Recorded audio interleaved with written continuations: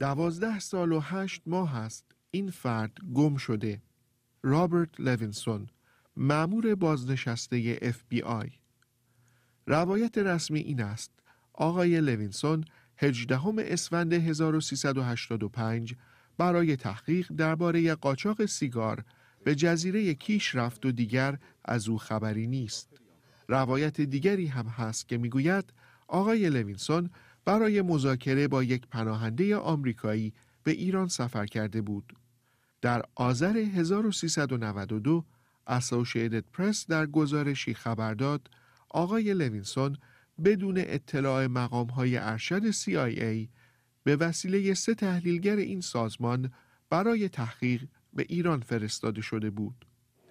ایران بارها گفته از آقای لوینسون خبری ندارد ولی آمریکا مصر است که او ممکن است در ایران بازداشت شده باشد برای گروکشی در مذاکرات سیاسی.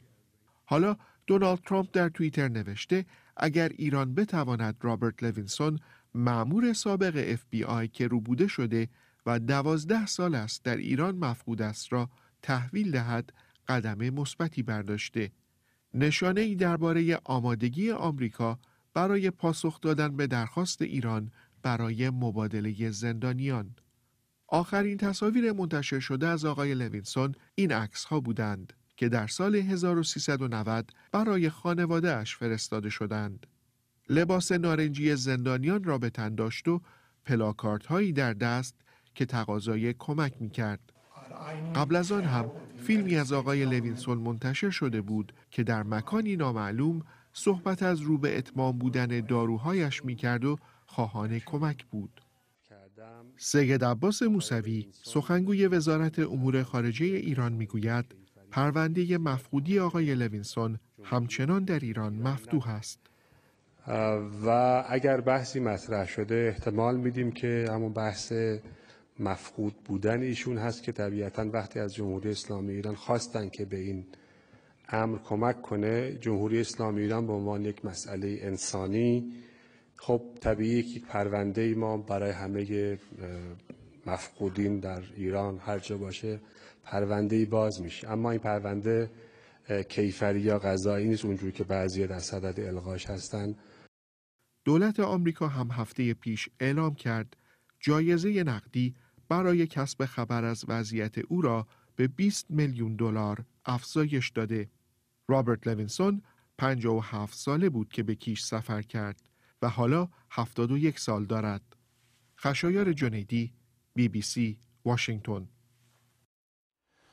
دن لوینسون فرزند رابرت لوینسون از کیپ‌تاون در آفریقای جنوبی با ماست. آقای لوینسون شک ندارم که هر روز به این فکر می‌کنید که پدرتون کجاست. آخرین باری که خبری از او دریافت کردین کی بوده؟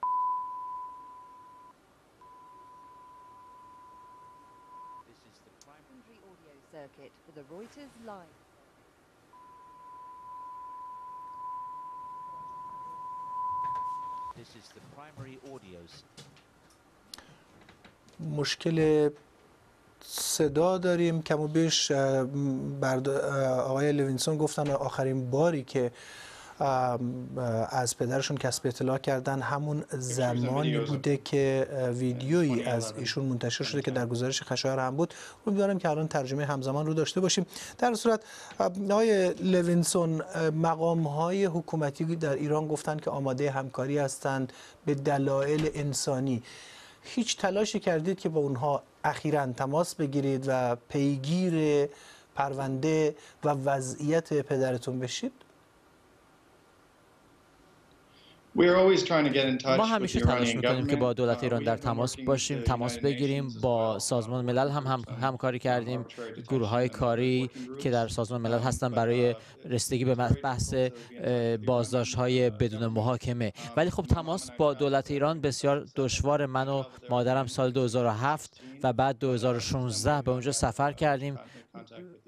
ولی بجز اون و بعد از اون هیچ تماسی با مقام های دولت ایران نداشتیم.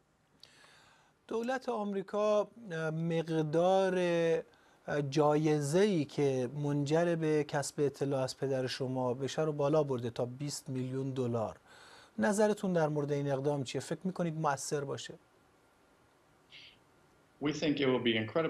ما فکر می‌کنیم که خیلی uh, می‌تونه کمک کنه. برای اینکه در نهایت مجموعا به 25 میلیون دلار می‌رسه و این بیشترین مقداری است که دولت آمریکا در مثلا برای اطلاعات درباره بن لادن یا بغدادی رهبر داعش اعلام کرده بود. و این نشون میده که دولت آمریکا چقدر جدی است در عزم خودش برای بازگرداندن او به خانه. بنابراین ما از هر کسی که در هر جای دنیا اطلاعاتی داره می‌خوایم که اطلاعات خودشون در میون بگذارن چون دولت آمریکا تصمیمش برای پرداخت این جایزه جدی است و خواهش می‌کنیم که پیش پا پیش بگذارن. چون می‌دونیم کسانی هستند که در ایران یا در ارتباط با دولت هستند یا نیستن در هر صورت می‌دونن که پدر ما کجاست و بنابراین ما اونها رو تشویق می‌کنیم که این کارو بکنن.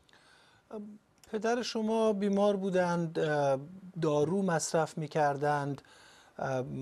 احتمالا وضعیتی که درش به سر می‌برند بسیار متفاوت است با وضعیتی که در آزادی داشتند چی باعث میشه که امیدوار باشید به یافتن فردی که سالهاست خبری از او ندارید؟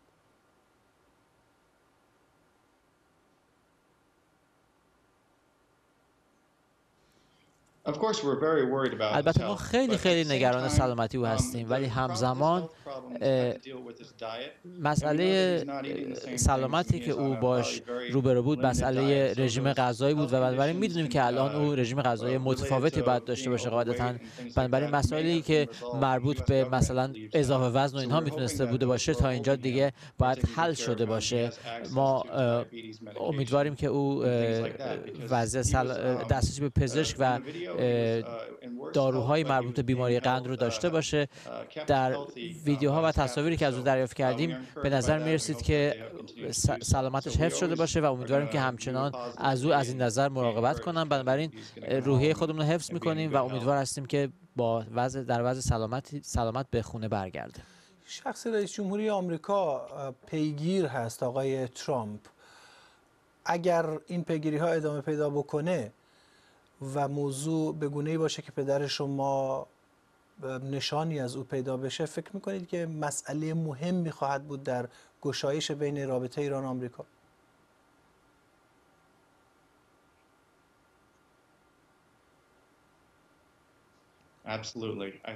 قطعا. اگر مورد پرونده پدر من حل بشه فرستادن او به خانه می‌تونه همطور که پرزیدنت ترامپ گفت یک قدم مثبت اول باشه برای بهبود روابط بین ایران و آمریکا. در حال حاضر طبیعتا رابطه ایران و آمریکا به خوبی گذشته نیست و من فکر می‌کنم که ما معتقدیم که این می‌تونه ایرانی ها می‌تونن با شروع با حل مسئله پدر من این قضیه رو شروع کنن. و ما از این تحولات یک هفته اخیر راضی هستیم. ممنونم از دن لوینسون فرزند رابرت لوینسون مأمور سابق اف بی آی که